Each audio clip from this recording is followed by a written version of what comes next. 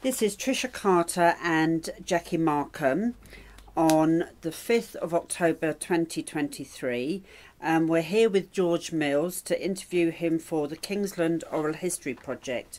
George, thank you for seeing us both. Um, perhaps we can start with where you were born and brought up and some memories from your early life. Yes, um, I was born at the Rodhurst, uh, Presteigne, Radnorshire.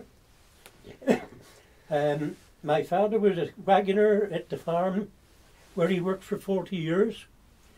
Um, 20 for the Price family, and then the next 20 years for Lord Rennell.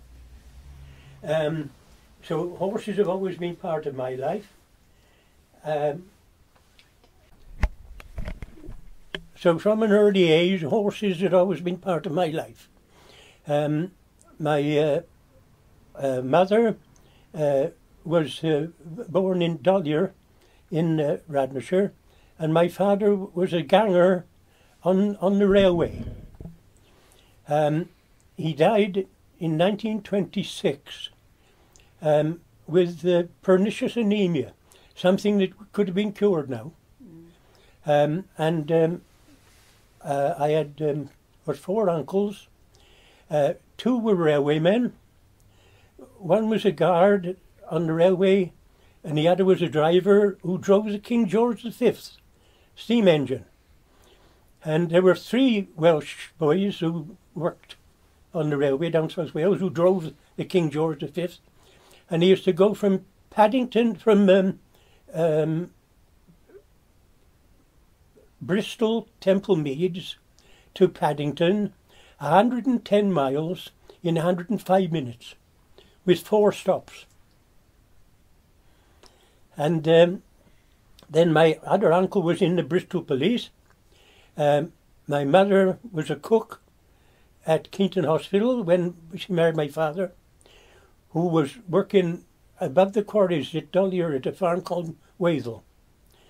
And he came down to the Rodd and got the wagoner's job.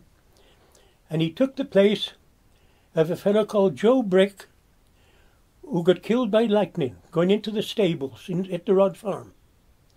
And him and the, the first horse he was leading were killed. And a chap called Jimmy Jones, with a horse coming behind, um, had his uh, moustache and something singed, and the horse, I think, was singed up. And But they, they, they survived the, the lightning, you know. And Mrs. Brick, at that time, had seven children under 11. Unbelievable, isn't it? Yeah. Uh, so anyway, that was it. That's where I was born. Um, uh, nobody will ever have the life I had again. Um, our playground was thousands of acres. We could go anywhere about there. The farm was what over 300 acres. There was woods and everything and adjoining farms. We could go anywhere. Unbelievable, you know. I'd got an older brother, seven years older, and a sister who was four years older. And um, uh, I went to uh, school at Titley to begin with, and then um, at Lady Hawkins School in Kington. I didn't do very well at school. Um, I passed the 11 plus, but there was too much that I couldn't take in all at the same time. I couldn't do, try to learn uh, Shakespeare passages or um, do algebra, geometry, and all those sort of things. I couldn't take all those things in at the same time, you know. So I, I wasn't very good at school. But anyway, and my first job ended in more or less disaster. Didn't it didn't end well at Presteigne anyway. But then um, there was a chap first job was? Who was um, uh, he was in with the blacksmith in Presteigne, but uh, we, we, we didn't get on. He got two two sons and the father, and um, uh, I didn't gel with them at all. But anyway, uh, there was a chap called Harry Williams who was the rural industries organizer uh, for the three counties. A lovely chap who lived in Hereford. And uh, anyway, he got me fixed up with Ali and Albert Davies. And um, they drove up on a Sunday to the Oxford at Presteigne, a Sunday afternoon, to the Oxford pub at Presteigne, and he interviewed me underneath in the yard at the, at the Oxford for the job and said, Come down to Kingsland and have a look round at the forge, which I did in a couple of days' time. And I started on the 31st of March 1952 to serve my apprenticeship. Now, I was indentured to Albert, uh, who kept the pub in uh, the Angel pub in, in Kingsland. Uh, but of course, he, his health, uh, uh, did, um, you know, went down and uh, Ali took it on. Um, always known by Ali, but he was Albert as well, you know. Um, and there, his uncle was Fred. Well, working for them was a pleasure. I couldn't have been with better people. Um, they were top class, top class tradesmen. I never got anywhere near the standard that they were. In all my years that I was blacksmithing, I never got anywhere near their standard. They was that much higher than me. I said in later years, well, they started when they were born. I was more or less 18 when I started, so they had 18 years start on me anyway. But they, they, you know what? They were wonderful. Um, I kept the pub. At lunchtime, they'd take me up to the Angel. Um, Albert was working there then, in his father. Um, he'd go straight into the bar after he'd washed his hands. All he'd have, he, he learnt me a wonderful lesson, really. Although he kept the pub, he never got on the drink. All he had was a small glass of lemonade and uh, cider. And he'd have a drink of that before his lunch. They'd have their lunch.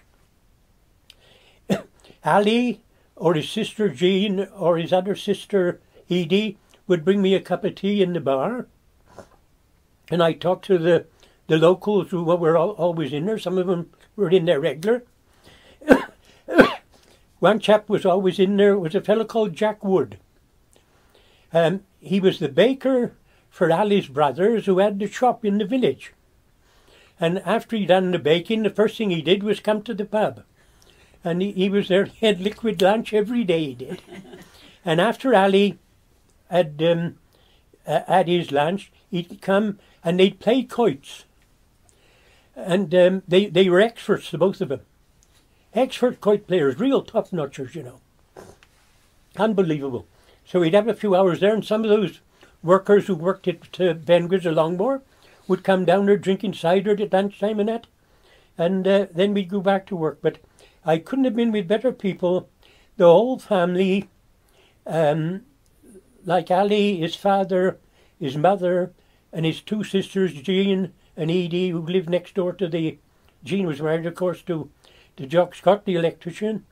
Um, Edie was married to um, uh, Herbie Jones, who was the head sawyer at Kingston Sawmills. And they lived in a little cottage right adjacent to the Angel pub, right underneath the archway. And um, they all treated me uh, uh, very well, and I was even at, um, at Jean's wedding, and um, she came to my after party years later uh, with with Jock and, and Fred, Uncle Fred. Hi. Yeah, wonderful, wonderful memories of people. They were all very good to me, and like I say, life, life was a pleasure to to work with them. You know. Um, Ali then got married. At that time, um, the uh, telephone exchange in Kingsland was manual. And so if somebody rang in the middle of the night, he had to get up and plug them in, you know. And it covered a wide area. They went right up above Shobdon, uh, the Kingston area did. So he, they was quite busy, you know.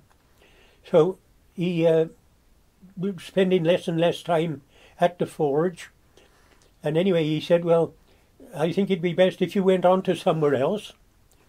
And so um, I was fixed up and I went to Bromyard to work for a year. Um, Cyril and Sons was the name of the firm.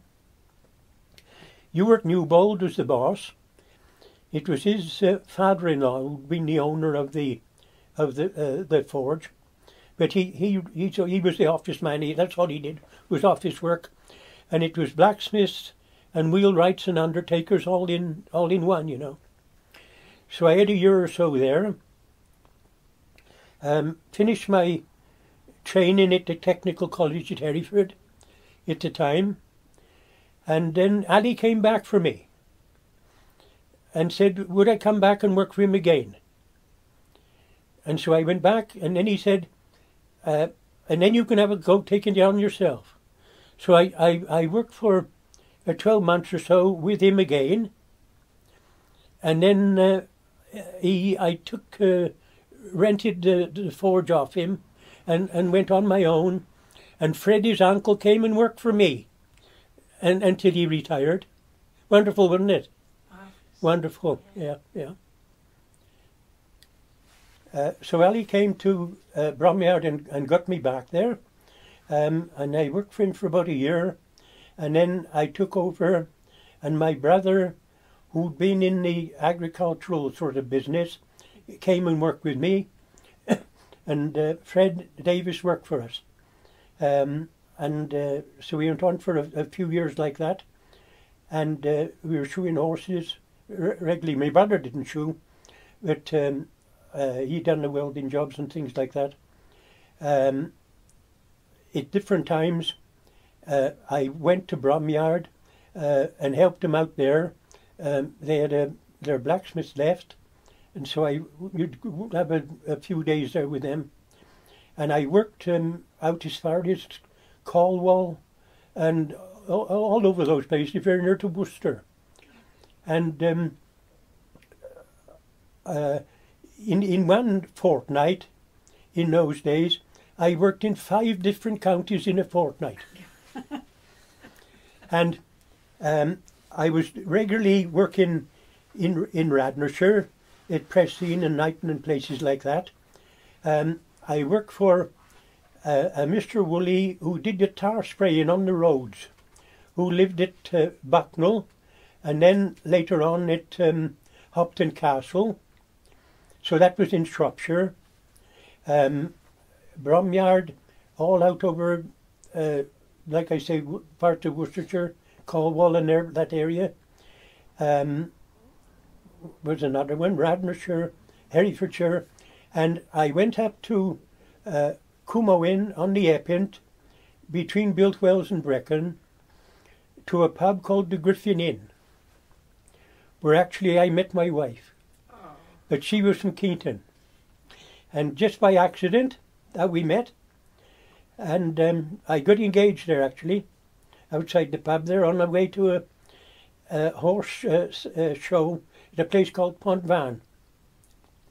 But anyway, um, got to know the people at the pubs who were going to the pony sales. And that's how I got to know my wife. You see, was her brother-in-law. Uh, he came came up there to the sales. He was the RSPCA inspector in Kington. And um, Anyway, um, they uh, at the pub there they had one of the oldest Welsh mountain pony studs about. They were right in the first uh, edition of the uh, Welsh um, the um, um, what's name book, you know, uh, the Cwmowyn stud. And but they'd got uh, donkeys. They'd got a, a, Jack and a Jenny and and a and a foal.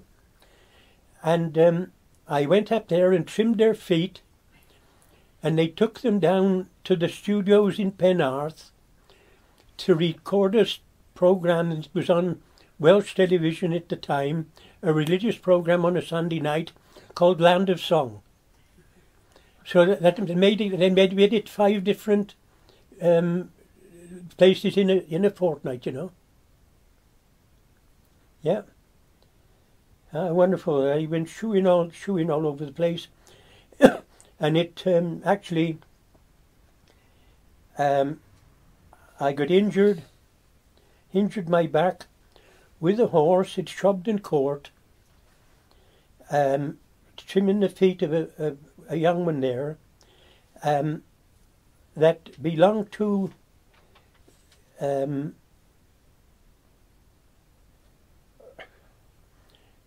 uh, Walker. Her father was Peter Walker, the racing driver. Her father was Peter Walker, the d- racing driver. That's who this pony belonged to. And Mrs. Um, uh, Mrs. Walker later married to Colonel Colbert. But that's where I I got injured my back there, and so I was looking for more or less another job. Um, my children were small.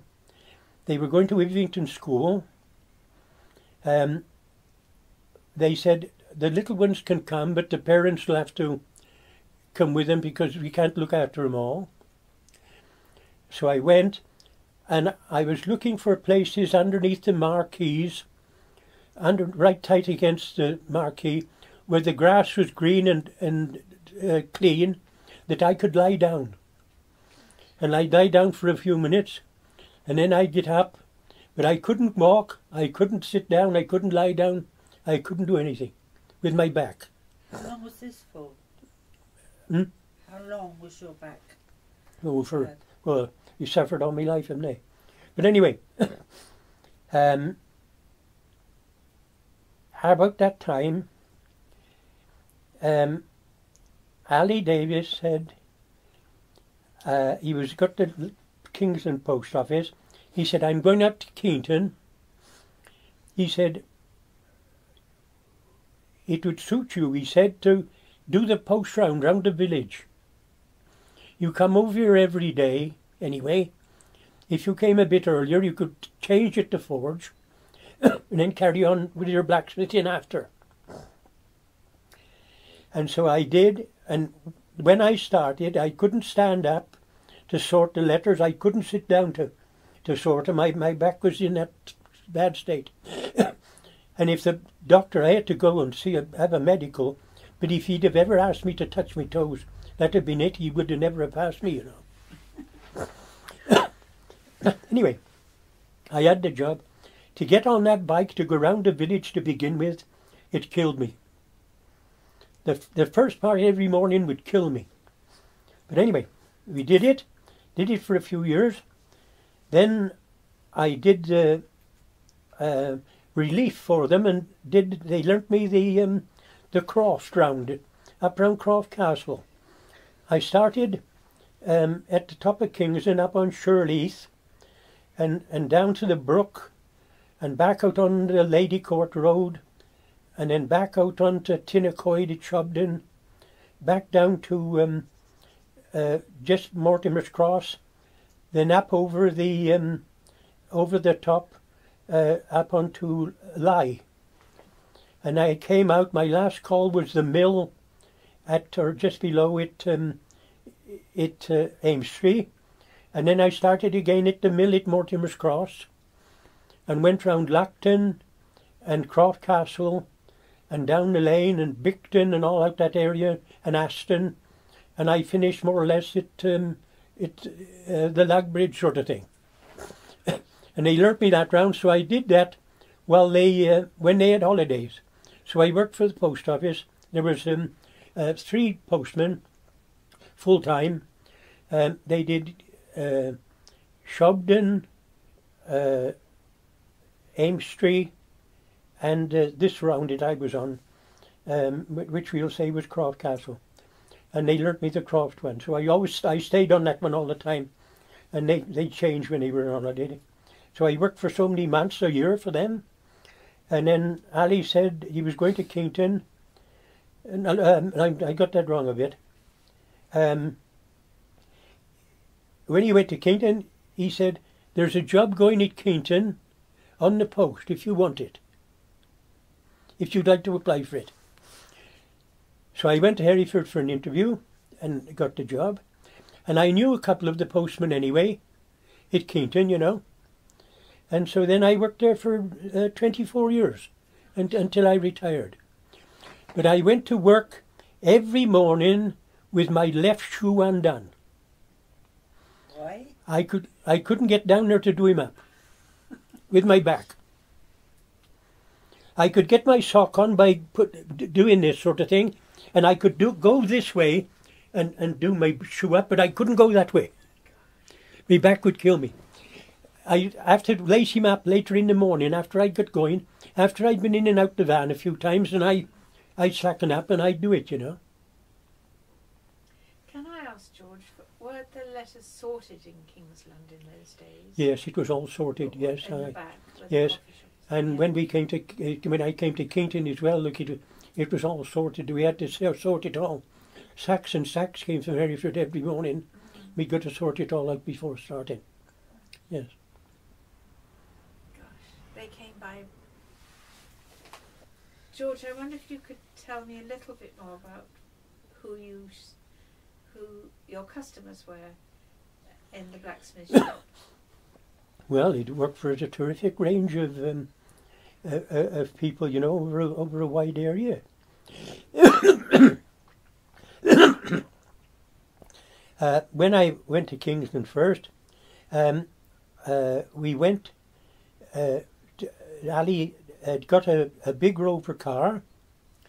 Um, he'd load the forge up in the back, and we'd go down to Elms of Wharton, below Leominster and they'd got uh, Blackshire horses at that time, and we'd have a day shoeing for them.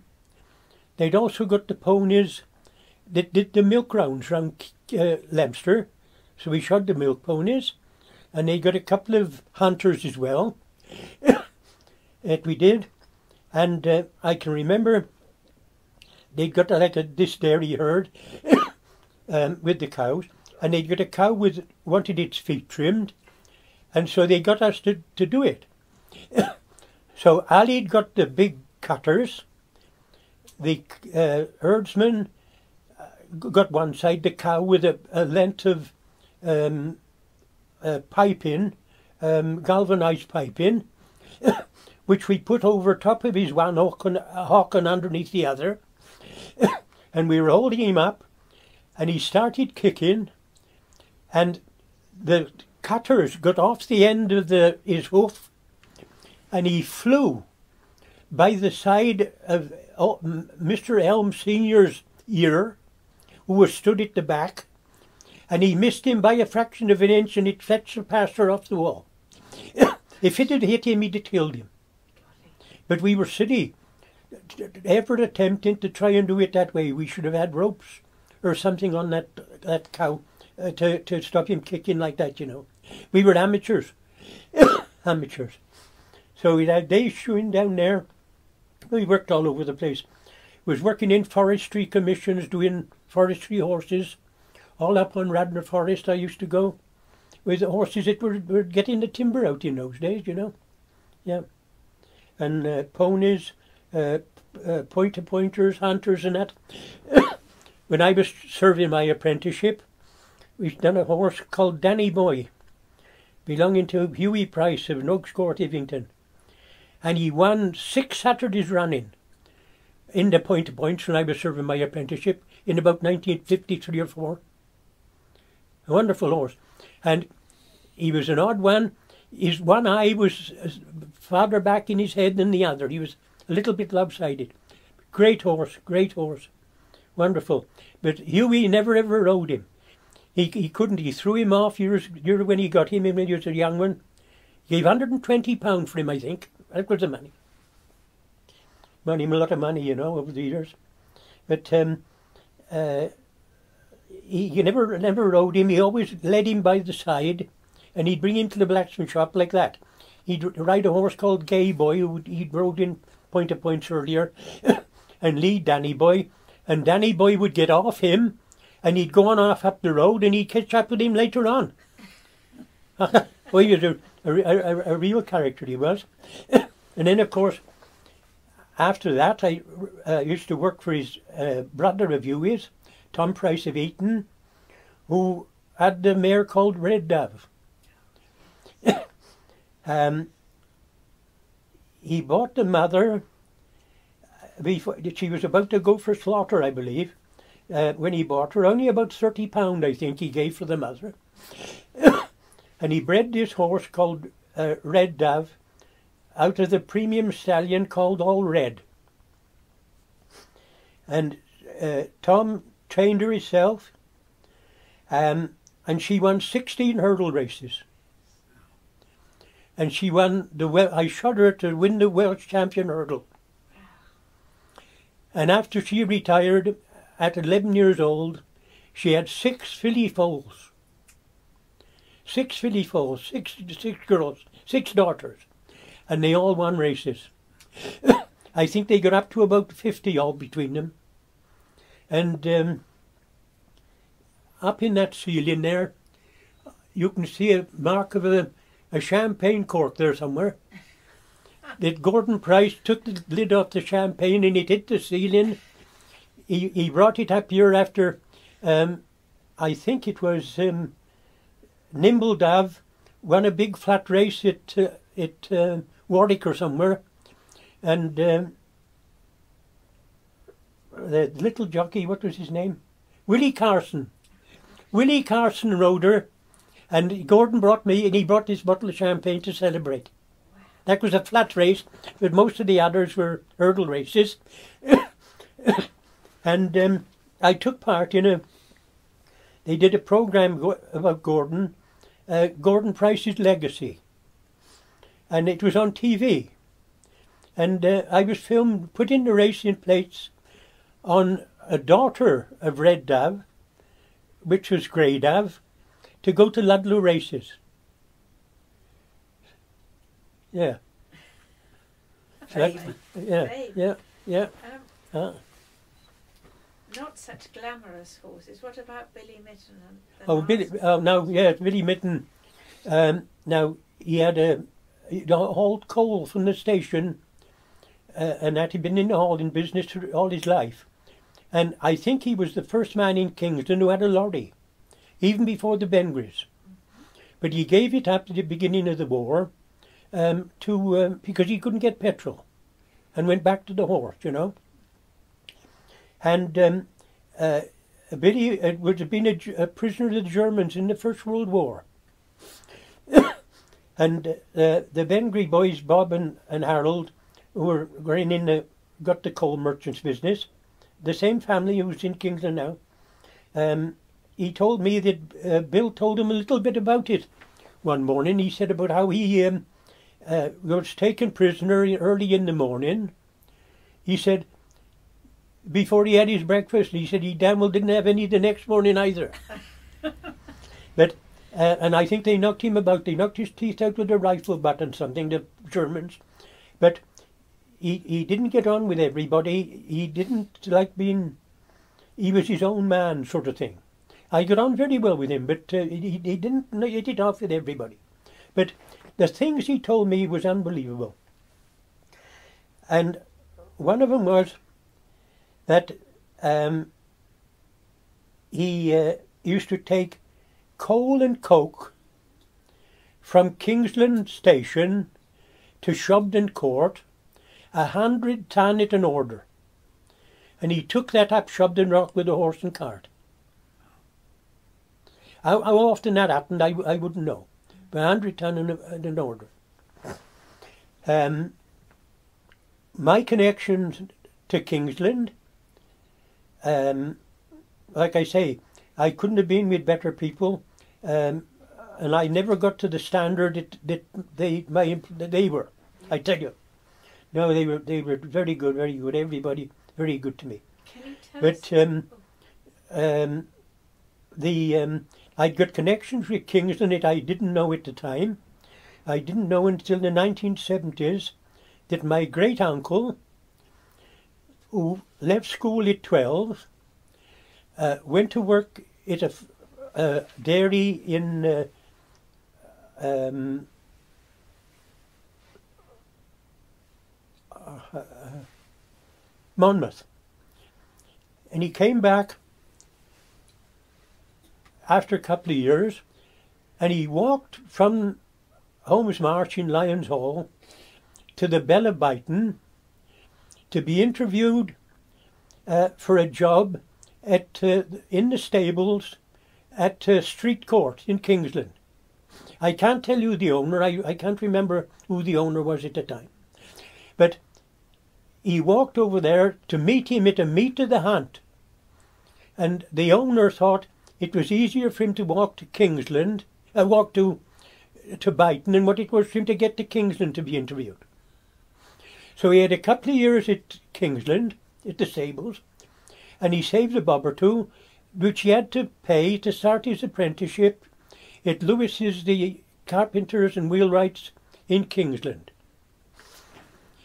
Um, he finished his apprenticeship um, when uh, he was 21, and I think he left there about uh, 1899, as far as I can work out.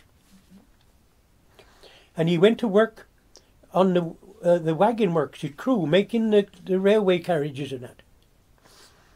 Um, and after how long I don't know, but uh, he got made redundant, and he got a job as an agent for the Pearl Insurance Company. And he finished up as area manager at Wolverhampton. And he'd left school when he was 12. And he came back here to, to Lyonshall, I, can, I don't know when, because the family wasn't in contact with him. Um, my uncle was in the, one of my uncles who was in the Bristol Police, uh, was 16 at the time when my grandfather died. And this uh, great uncle of mine said something at his funeral, and my uncle said, I've never forgiven him for, for what he said, but I never ever knew what it was. I never knew what he did say. But anyway, so we, they, we had no contact with him and until he came back here sometime, and I got, got back in contact with him in uh, about 19, uh, 1965 or 6, around that time and um, his first wife had died, look, and then he went back to where he uh, worked at Kingsland in the uh, uh, the wheelwrights and that, um, not wheelwrights, the uh, carpenters and and cart makers and all that, and um, uh, he he married a daughter, Mary Lewis, when he when he was in his late eighties, and he died when he was on holiday in Aberystwyth when he was 91. But he'd, he'd done his garden up until that year, you know. So he told me these things about it, and he told me that when he was at uh, at Kingsland working, the local policeman used to tutor them boxing in the blacksmith shop at Cobnash. And he said, of course, there's uh, in the pentice where we done the shoeing, there was three sides, and the boys used to get up the other side to make the, the fourth to make the ring.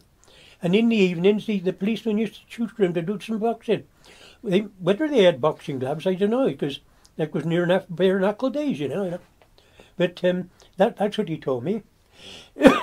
now, Bill Mitten could tell me that uh, Lewis's exhibited their carts at the three county show at Worcester and, and at the Hereford three county show. They didn't go to Gloucester. But he said they used to leave Kingsland nine or ten o'clock on a Sunday night. One would have a load of shafts and wheels, and others would have bodies and that sort of thing. And they walk through the night to the Worcester showground.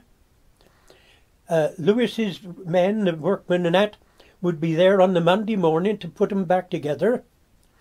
And they, if they knocked any paint off, they'd touch it up. And those carts were sold to farmers in the Worcester area at the show. They never had to fetch them back. And Bill told me on one occasion, he said it, it rained every step of the way from Kingsland to Worcester. And they walked through it. Uh, oh, Bill, Bill Mitten was a very interesting chap.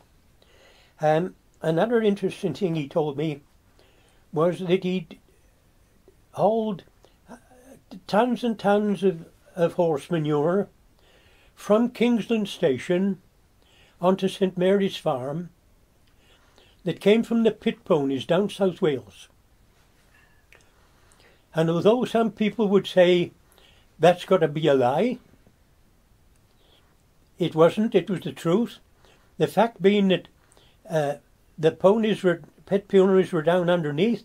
Uh, their drop-ins had to come out. They came out the same time as the coal.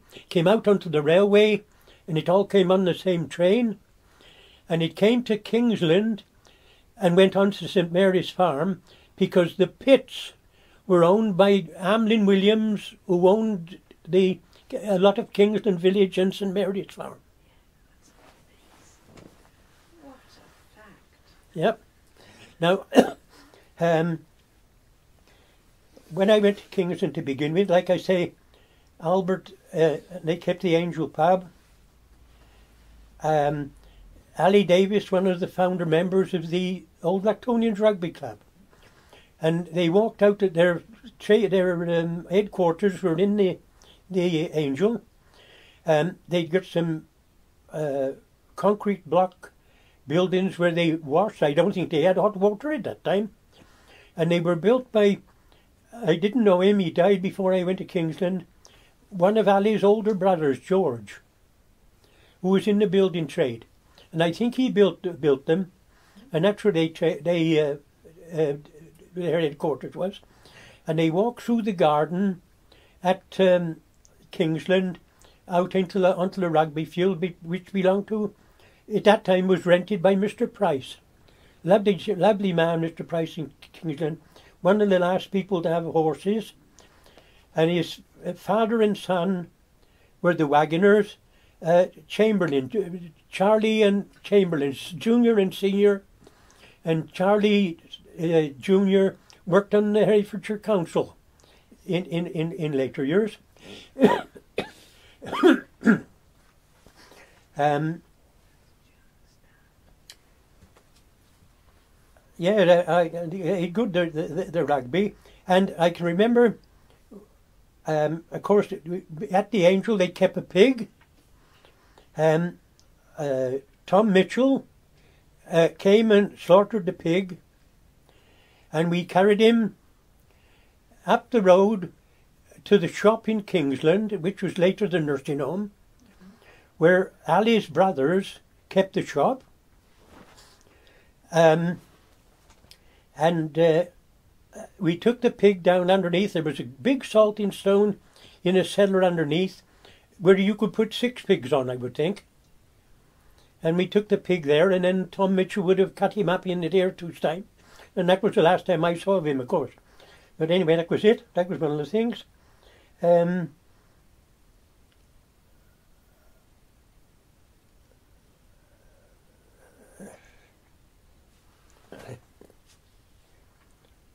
I going to go on from there? Oh, the um, there was a chap who worked. I, I, I wonder I've gone over my story now. You'll have to correct me if I'm wrong. But um, we went up to the Angel Inn at lunchtime. They took me up at lunchtime from the blacksmith shop when I started working there. And after Ali had, had had his lunch and that, he'd, either him or his sisters would bring me a cup of tea. And him and George, um, uh, not George, um, Wood, Jack Wood. He was the baker for their brothers at the shop, and he was there every lunchtime, and they they played quoits and that, you know. And these uh, workers from Berg, uh, Burgoyne used to come down and, and drink and that, and then after that we went back to work again. But uh, no, uh, wonderful. They were they were they were all very good to me. The um, uh, the Davies family, yeah, very good, wonderful. um, one of the people we worked for, the Wenham and Elliots, um, were at the Brook Farm at Kingsland. They were two single ladies, and they were very successful with the Kerry sheep. They won prizes for years and years at the three county show and all over the place. Um, I knew them a little bit at the time because they were into horses a bit and did a little bit there for them. But in later years they moved to a farm that they owned um, on the top of Blackton. and uh, they got into the uh, Welsh ponies, the Welsh mountain ponies, the Section A's. And uh, I kept them myself, so um, we'd got a lot in common. So, um, uh, and they, they, they got successful, after being successful with the, with the sheep in earlier years, they got to the top in, um, or pretty well in, uh, with, the, with the ponies, you know. Unbelievable, you know. Yeah. another interesting character in Kingsland um, was a fellow called uh, George Griffiths. He worked as a mechanic for uh, Markham at the garage. Um, he, he was very clever old, old boy. Um, he'd been in the army. Um, he scoured the uh, the tip at Shobdon uh, for um, different things, parts of televisions and that. And he'd uh, take them and he'd get other people's and televisions going with spares he got off there. And it went on until the council upgraded their uh, dust carts and they'd got uh, a sort of crusher thing on the back and then it got, all got crushed up and he, he couldn't get any spares and it crushed it up be, before he could get them. In the earlier years, people would tip perhaps televisions out in the ashes and the paper and everything in the back. It sort of cushioned it and they never got broke, you know. But um, that's what he did. And he also um, built his house. He had a black and white house. And bit by bit, I think when he could afford the bricks, he's done a, a sort of veneer around it in brick. And I, I don't think he ever took the out the inside down. I think he ever stayed as it was. But he, he, he, he did all that himself when he could afford a few bricks. He'd buy them and, and then do a bit more. And he done all that himself, you know. He was a he was a he was a clever chap, a nice bloke. And um, at that time it was you won't believe it now, but we used to, he used to bring um, exhaust pipes for me to weld off cars. You can't believe that now that we you repair an exhaust pipe. But uh, that was one of the things that George would bring down for me me do a few jobs for, for um, Morris Markham and that, different things. And also, there was a garage in Eardisland, and um, it was um, uh, Williams and Rimmer. Uh, Tommy Tommy Rimmer, I think the chap's name was, and they used to bring up their exhaust to me for, for welding.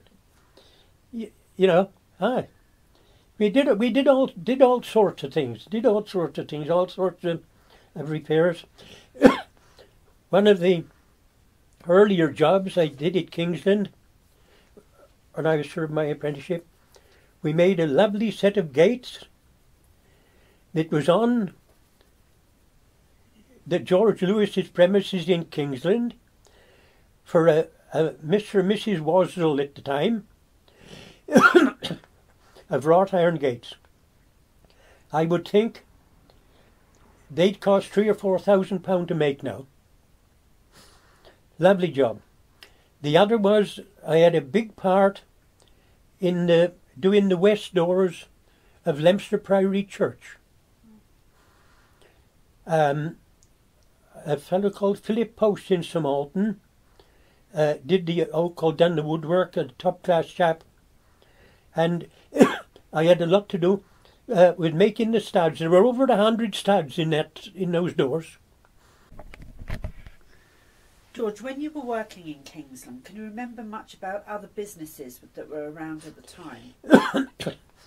um, yeah, well, of course, there was um, uh, Ben Grissett Longmore. Um, they uh, had uh, steel lorries, but they also were, were agricultural um, contractors. Um, that was one firm. Kingsland Sawmills was in a very big way at that time. There were only over 40 people working there, I think. Very big way, Kingsland Sawmills. And I, the two girls who worked in uh, in the offices, uh, both married Germans.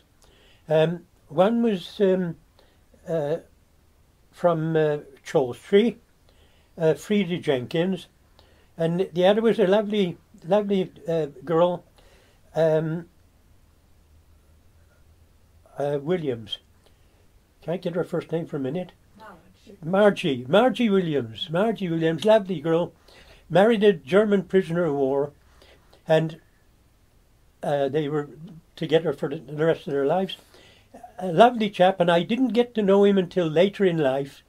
And he told me he was a prisoner of war at Presteigne.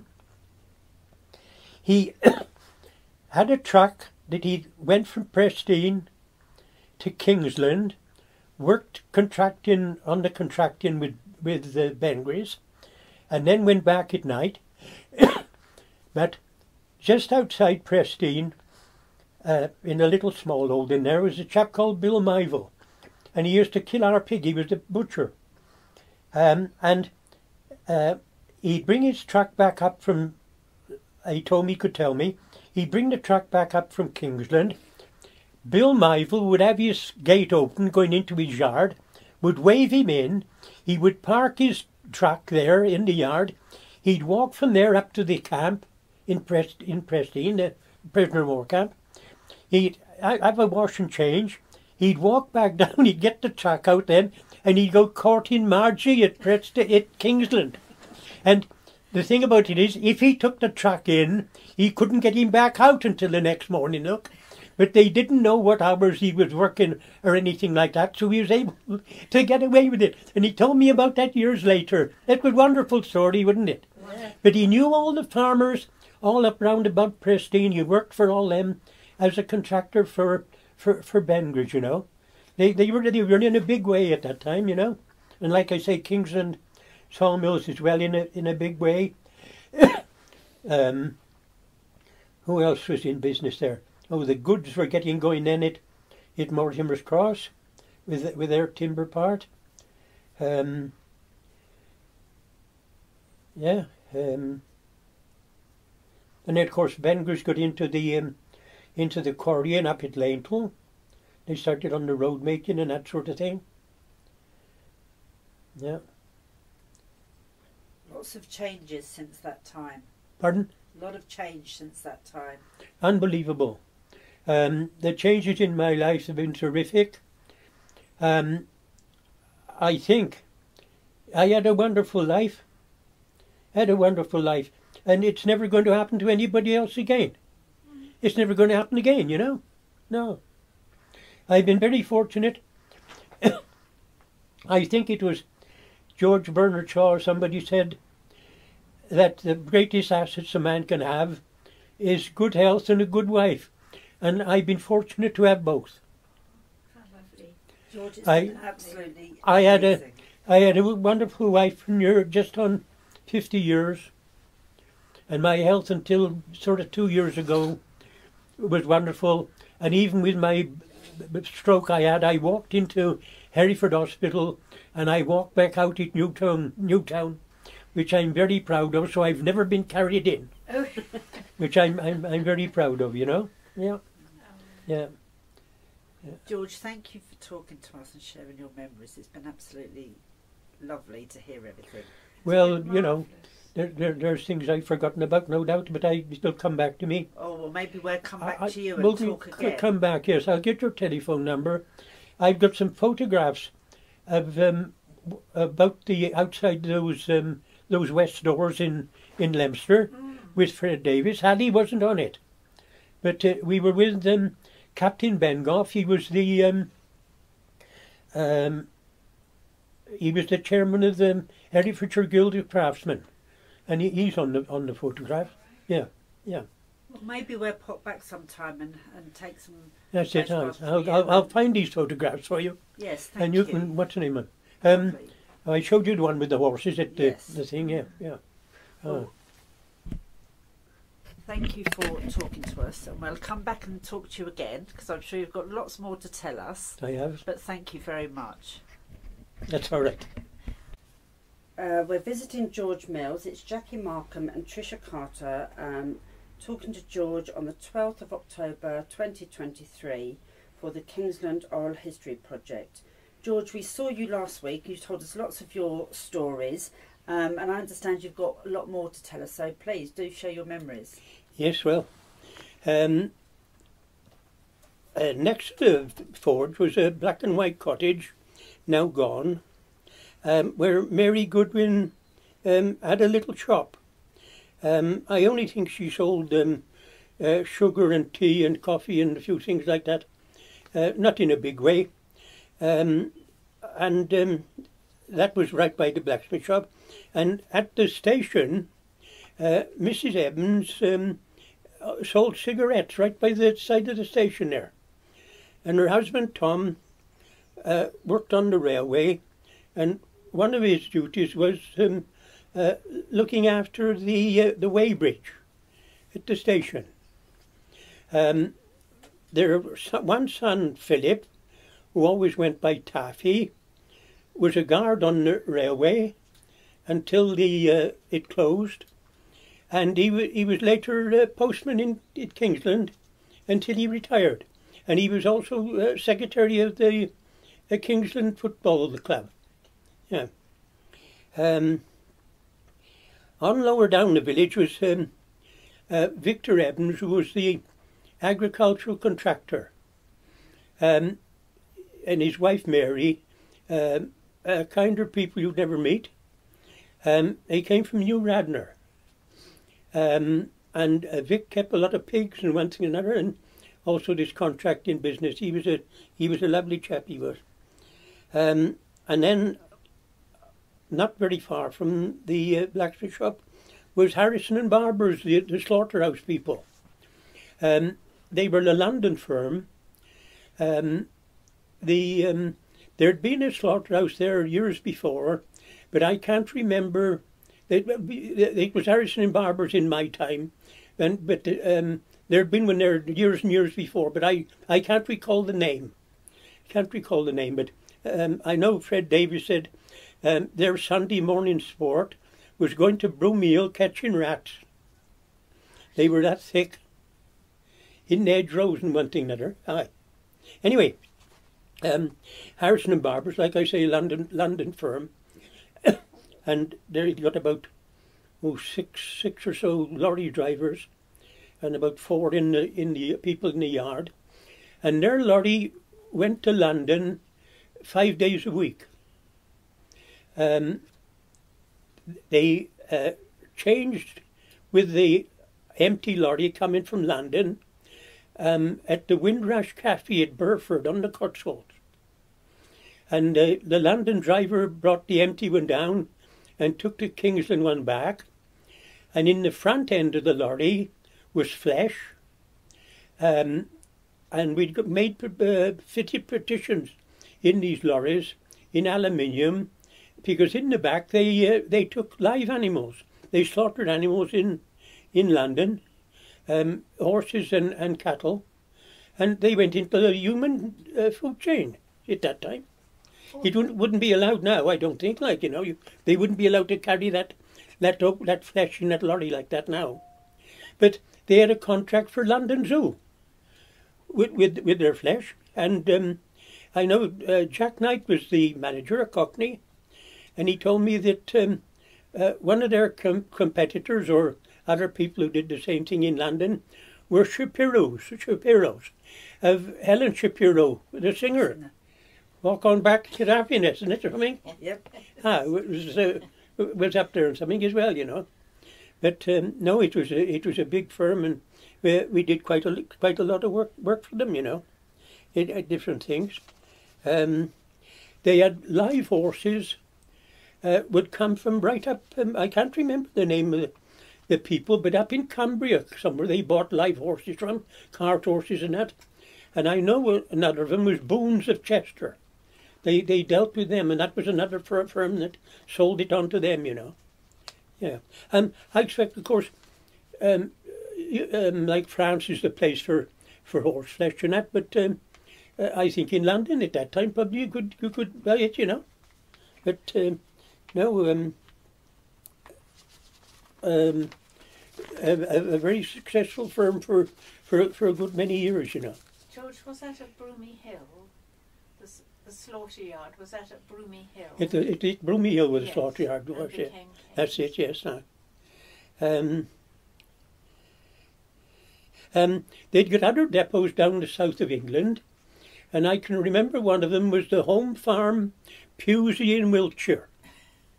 And I think there was another in, in Buckinghamshire. I am not quite sure whether it was Iver or not, but uh, they had it was a, a, a big um, a big firm, you know.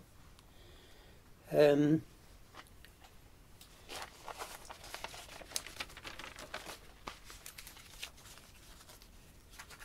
Oh, um, when um, I went to Kingston to begin with, and uh, Davies is at the Angel pub, uh, they kept a milking cow.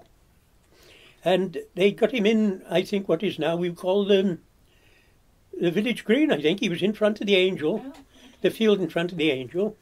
And when I was going to work in the, mor- in the mornings, sometimes on uh, Midland Red Bass, Ali would be out in the field milking the cow. He could the, the cow would stand while he milked him in the field, milked her in the field. Yeah. Um, they also did at that, about that time. The um, there was a lot of farm sales. Uh, farmers were retiring, and that after the war, and in the late uh, forties, early fifties, there was a lot of farm sales, and um, in the bigger ones, uh, if uh, Russell Baldwin and Bright were doing them, they'd have a bar, and uh, the Angel ra- ran the bar, and uh, they with all of them together, they could they could be done. Because um, Fred and and uh, Walter were in the sh- village shop, and they also had the bakery there, so they were set up for the job, you know. Um, and he had a trailer behind the car, Ali took, and they went to the the, the farm sales, and um, I know one of the things they did, they went to um, a sale at um, Sir David Arkwright at Kinsham Court um, for um, a reduction sale. Um, now the Arkwrights had been at um, Hampton Court here at the uh, foot of Dinmore Hill on the um, the um, Bodenham side. Uh, and they had thousands of acres and something at that time. And so it was, I would think they'd had stuff in storage for a good many years. And so they had a reduction or something there of it. And the rest of it has been sold now recently. And it it was uh, sold up in Sotheby's or one of those big London auction houses. And they were talking about millions. The prices, some of those things they got were priceless, you know. Because they hadn't seen the light of day for years, you know. They've been in the same family. Um, now they're talking about millions, and they were expecting a lot of it to go to America. But I never saw a report in the, the local press about um, uh, what the, what the final outcome was. You know.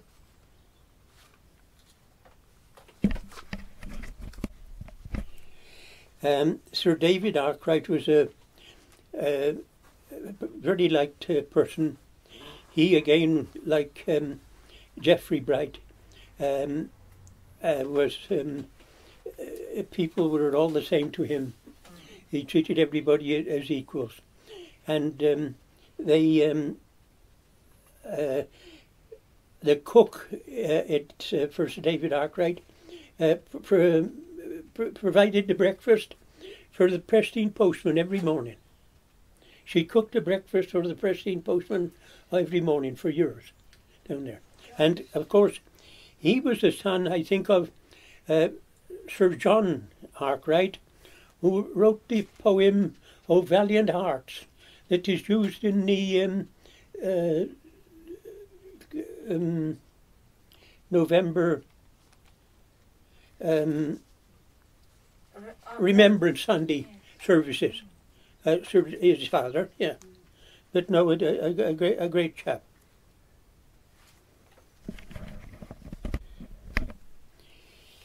Um, Ali Davies was not only a founder member of the Luctonians rugby team, but he also been very successful in a, a junior football team at Knighton.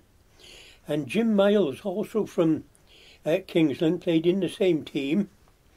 And their goalkeeper, uh, a Knighton boy, was called Bron Powell, and he later played professional for Chesterfield. Um, Ali uh, like I say, not only on the, the that the rugby, but he ran it to White City, and he was only beaten by one of the top um, runners of the time, like Ibbotson or somebody like that. I can't remember which one, but it was one of the very top ones, and he also did a bit of um, uh, did a, a, bit of boxing as well. But uh, he wasn't the only member of the the family. Um, be a sportsman. Uh, Fred, his uncle, had um, uh, played uh, cricket and football uh, for the village, and then he was um, a referee, and he told me he used to put his bicycle in the guard's van on the train, and he'd referee at places at Kington, Presteigne, as far up as New Radnor, which was the end of the, the line anyway. And then he'd cycle back from there at night, and you know, and he knew every by road. I would think in Herefordshire, Fred did. He knew all the shortcuts. He was he was unbelievable, you know. Yeah. Um, yeah. Um, uh, he- Fred took me to Villa Park uh, to see Aston Villa play. Um, and it had always been my team. And um, he took me, we went through the, the cemetery in Aston, right by the ground, and he showed me his brother's gravestone, uh, George Davies, who was the head farrier at um, uh, Ansell's Brewery. Yeah, ah, wonderful. Um, the other thing Fred used to say was he he was um, they were twelve boys in family, and he said they all had a sister. And I said, not 24. And he said, no, 13. It was the same sister, he said. uh, Fred had been a member of the Kingsland Fire Service. And he told me that they attended a fire at Nilcourt, Presteigne in the 1940s uh, when a school that had been evacuated from um, London area, I think, and uh, it burnt down, or uh, most of it, I think, burnt down. He said it was uh, in an east wind, and the water was freezing. As he was trying to put it on the fire, he said could, oh, it was that cold. Yeah, terrific, you know. And I don't think they saved much of it. Um, another thing he told me was that they had a practice um, with the fire engine at a well down the Mousnitch Lane one Sunday morning, and they pumped all morning and they didn't lower the well by an inch. And I could quite see when they put the uh, mains water into Kington, into um, Kingsland, um, they had a great trouble because the water level was only about two foot below the surface. And they had terrific uh, tr- problems then.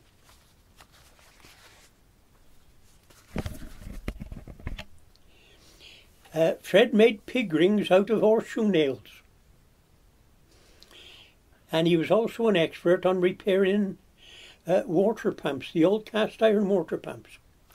He had a supply of alder wood at the blacksmith shop in the forge that he kept dry, and he would make a bucket um, of this wood, and he'd uh, nail leather onto it uh, with um, copper nails.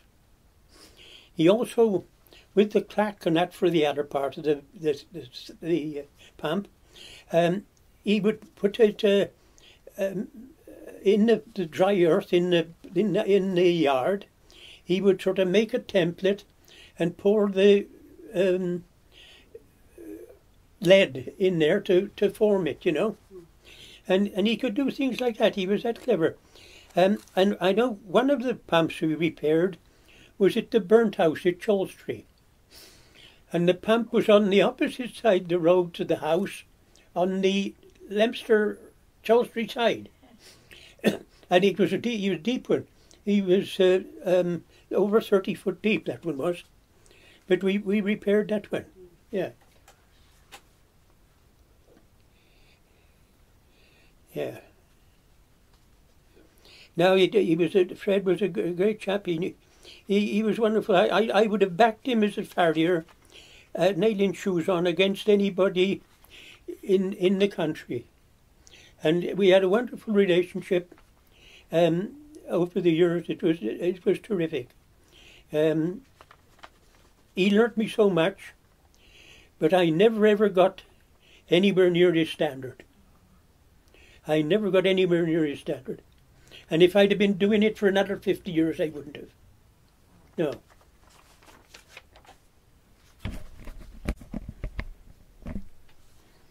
Another thing Fred did was to help um, uh, the local undertaker, Jack Priest. And he was always being called upon as um, a bearer at funerals and that. Um, uh, the gypsies were still travelling uh, and with their horse-drawn caravans in my early years at Cobnash. And uh, we'd spend, well, a lot of time shoeing for them, especially after hop picking, um, when they were going back home. Um, Fred, had, they'd been coming to Kingsland for years, and Fred knew um, knew all the families. He'd rattle their names off, and uh, some of them come as far as uh, North Wales. Um, uh, I knew the names of, of, some of them, but not like he did, of course. Um, the most ones, the ones we saw most was a Lock, Lock family. Um, the old people were Enoch and Violet. Um, Enoch, uh, Violet wasn't about too long before she died. Um, they had four sons um, and four daughters, I think. Um, their one daughter was deaf and dumb, and she died when she was about 16. Um, they also had a brother who was deaf and dumb, uh, but he stayed with, with the family. Um,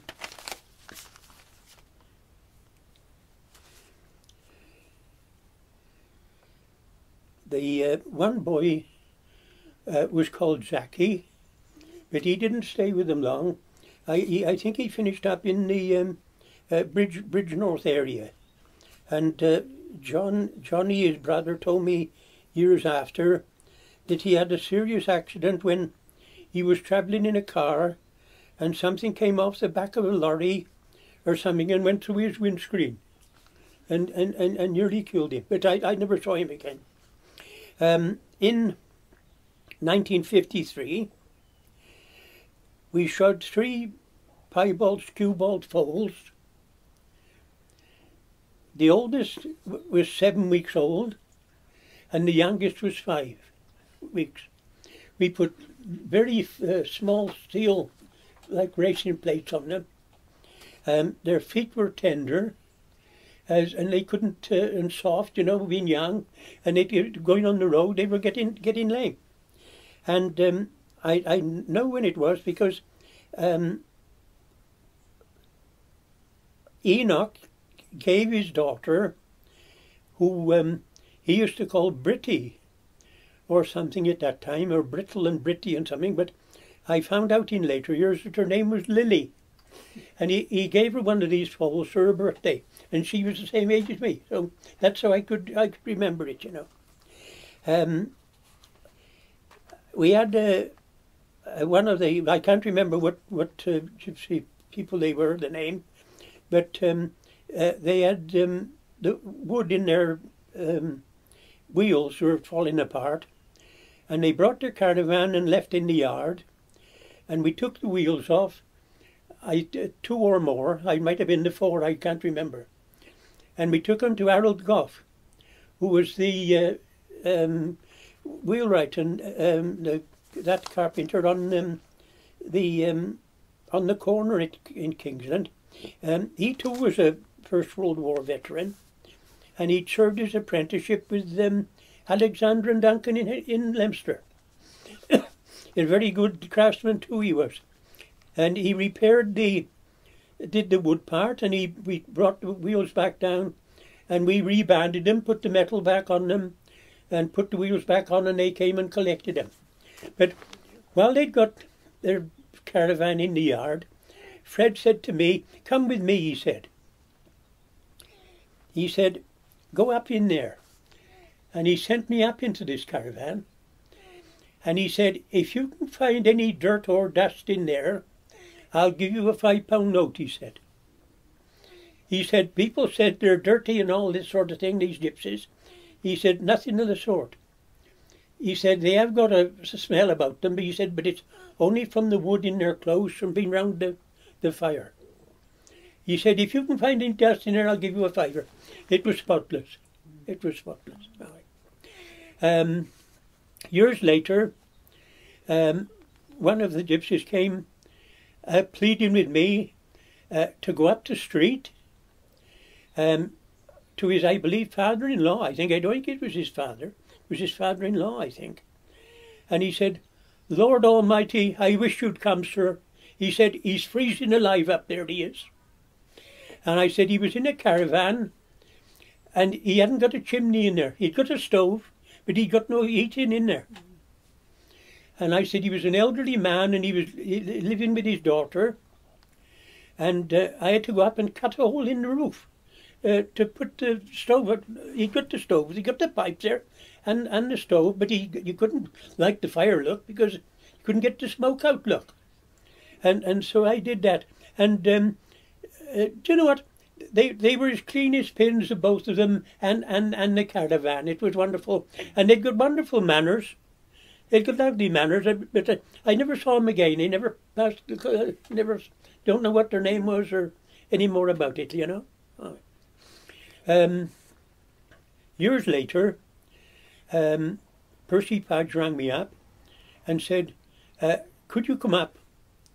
He said the boys have had an accident. He said he'd been into the railings down the drive, which is at Street Street Court Drive, not his. Went down there and they made a mess, broken all these railings in two places. And uh, anyway, I found out then it was the gypsies. And they'd driven through there with their truck. And instead of going back out through the gate, they made another hole to get back out onto the lane, lane again. And I, didn't know for 30 or 40 years after who it was. but Albert Taylor, who um, lives uh, in a uh, static caravan um, by the going out of uh, Pembridge towards Erston by the telephone exchange. he lives there, um, and it was his father. He told me, and he said he was drunk in this lorry. Percy Podge said, "I'll pay for it," he said, and I don't suppose he ever charged him. He was that sort of bloke, Percy Podge was. Uh, wonderful people, like you know, the Podges. Uh, very good. Um, and I think they're, uh, they had a lot of hops at that time, so they'd always got gypsies with them. But um, I think the at that time, uh, the street, uh, Podges hop yards was the most northerly in, in the country. Uh, I don't think they've got so many now. I talked to young Percy uh, several years ago, and he said no, they'd cut down a lot of them. But no, we did a lot, of, not a lot of work. They were they were very good, the, the, the, Podge family. Very good.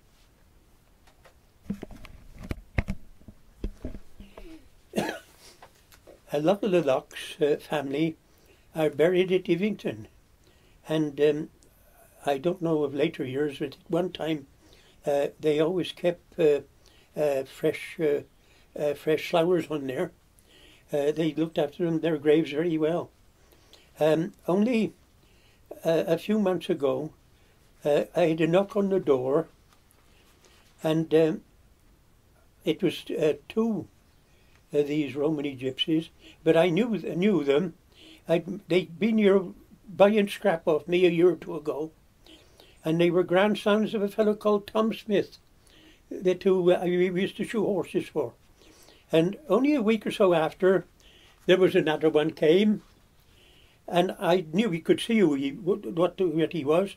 And um, I asked him what his name was, and he said it was Butler. And I said, any connection with Willie Butler? And he said, good God, that's my granddad, he said. I wanted to buy an old car off me.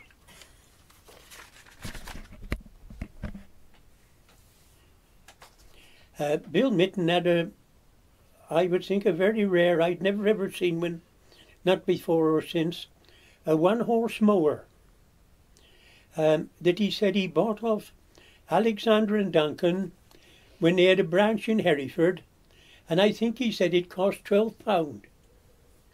And um, his harness uh, was made by Sankey's the saddlers in Kingsland. Uh, whether it was, I'm not sure. I think it was Arthur Sankey's father or his grandfather, but he'd got two uh, brasses on the face piece, on the bridle. And I'd say, Bill, after your time, I want them. And I said, all he'd do was smile. He never ever said, yes, you can have them, or no, you can't. but whether they went uh, to um, uh, Acton Scott, I don't know. Whether it is the mower and that went there, I was told it did, but I don't know. It, it could have been stolen out of his shed or something, probably after. But um, it done very little work. The paint was still on there when I saw it, um, because he would only mow perhaps ten acres a year. He hadn't got only got a small farm, and and so in you know, a big farm would do as much mowing in a, in one year as what he did in twenty or thirty. You know, so it was in, in tip-top condition. It was, but um, uh, anyway, like Arthur, Arthur Sankey um, was the first fellow I knew in Kingsland. Um, he was a fireman on the railway, and when I was going to school, he was trying to date my sister. And so I, that's how I knew him, Arthur Sankey. Um, he too was um, a founder member of the Old Luctonians uh, rugby team, I believe. Um, and uh, he went on from being uh, a fireman to um, uh, to be, of course, a, a driver.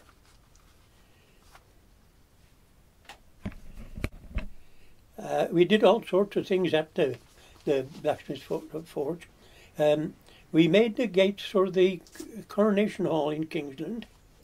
Um, I think they were cash strapped or something at the time, and they were made out of uh, recycled railings uh, from Berrington Hall outside of Leominster. Um, cars and lorries and different things would run into them, uh, but they never ever repaired them. Uh, they put uh, wire fences up or something and um, they went into the scrapyard in Leominster. And uh, we'd get them back from there uh, for a, an old chap called Harry Smith, who'd been co- collecting the scrap from Cobnash for 50 years. And he'd bring his horse out um, to uh, Kingsland, and he'd take all our old horseshoes and all our old scrap.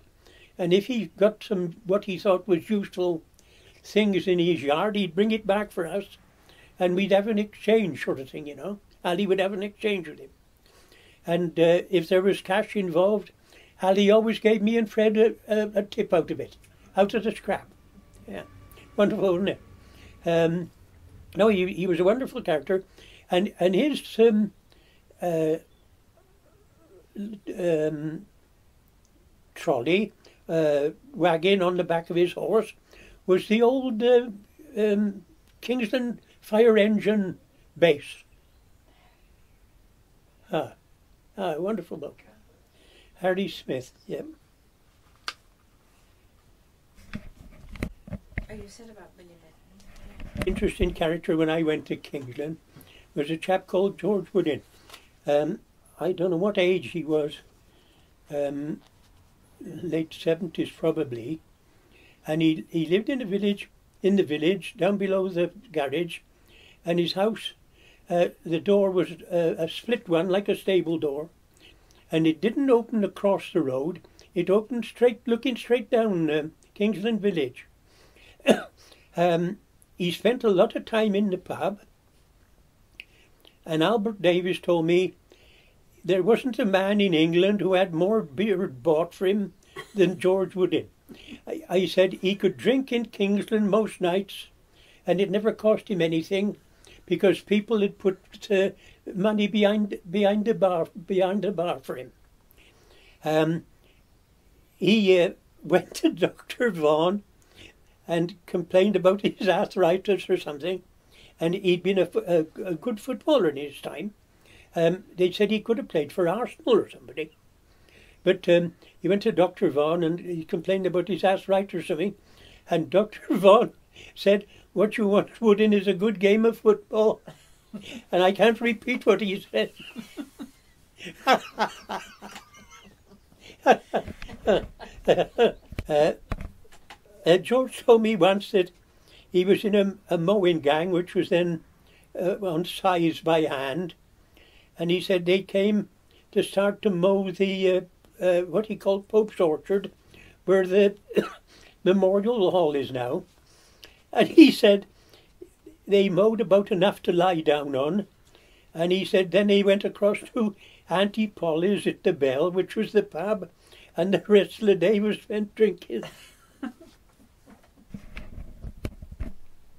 Apparently, uh, in earlier years, uh, they always had a, a, a foal show at Kingsland uh, with the Shire horses. And um, apparently you could get a, um, a goose, uh, autumn goose um, dinner uh, for half a crown at, uh, at, the, um, at the Bell.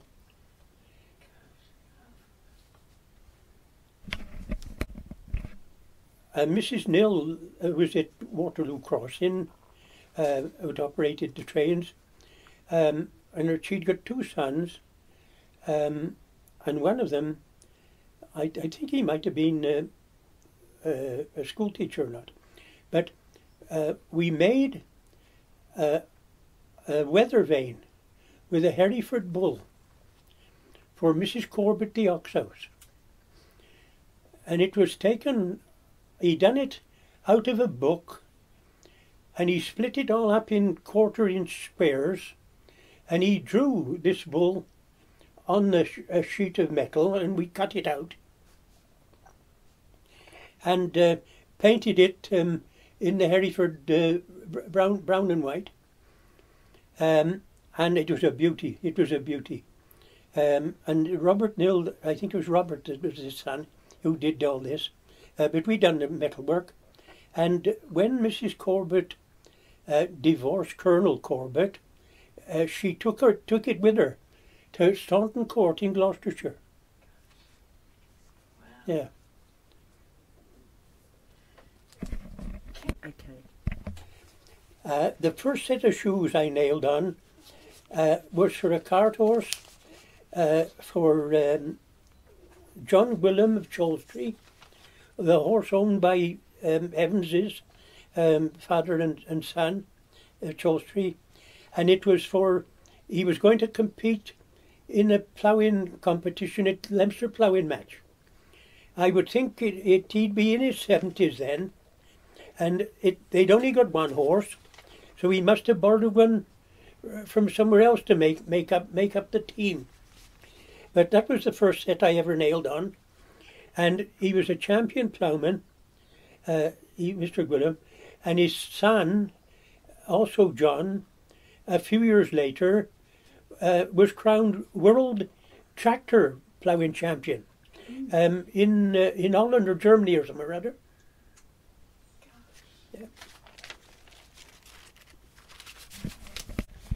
uh, Junior, um, if we meet and he's in company, he always introduces me. He's George. He showed me a dad's last horse. he showed me dad's last horse. He always says.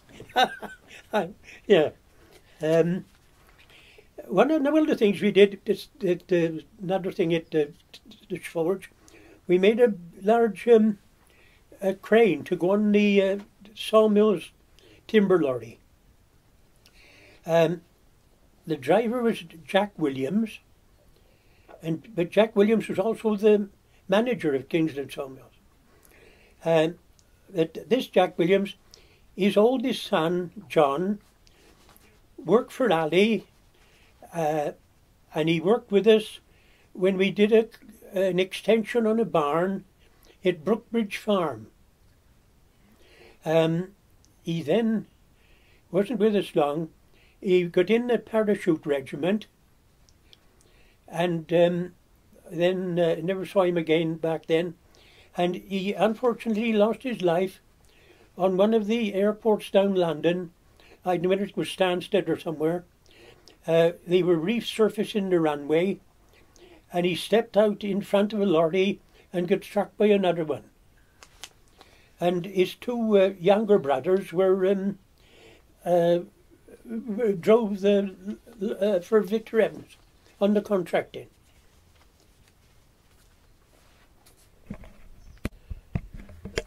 Uh, well, I worked at, uh, for Elliot Kingsland. I had a small part in uh, making the altar rail for Monkland Church, which was um, a very good, lovely, a lovely thing. Um, years later, I made the one for Kingsland Church, uh, but um, uh, I was very disappointed. It's very poor and plain, but um, I had to make it to specifications uh, by the church commissioners or somebody. Uh, it, I had no, no say in it, you know. But I was pleased to do the job because um, it was paid for by um, Mr. Mrs. Meredith and her daughter, who were at uh, just uh, the little um, farm by the by the Cobnash blacksmith shop. Um, and uh, when uh, her husband Bill Meredith died, um, they made it. It was in memory of him, and uh, he spent a lot of time with me um, at the blacksmith shop. Um, he been farming up in the A on Y area, uh, but in the young his younger days, he was a blacksmith at uh, Farlow up on the Clee Hill, and so he was always interested in what I was doing and spent a lot of time with me, and I got to know him well, and I was so pleased to be able to uh, to do it. But I was very disappointed. You know, I've always been disappointed with it. It it's a very poor, very very poor. I think they made a bad mistake about it. Very poor it was, but um, no. Thank you, George, for um, sharing all your memories with us once again. I'm sure everyone will really enjoy listening to it as part of the Kingsland Oral History programme. Um, so thank you very much from both Jackie and I. It's been a pleasure. Thank you.